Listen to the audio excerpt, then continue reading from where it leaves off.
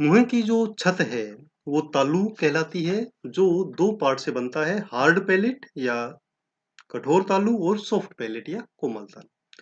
Hard palate maxilla और palatine bone से बनता है और सॉफ्ट पैलेट एक मस्कुलर स्ट्रक्चर है।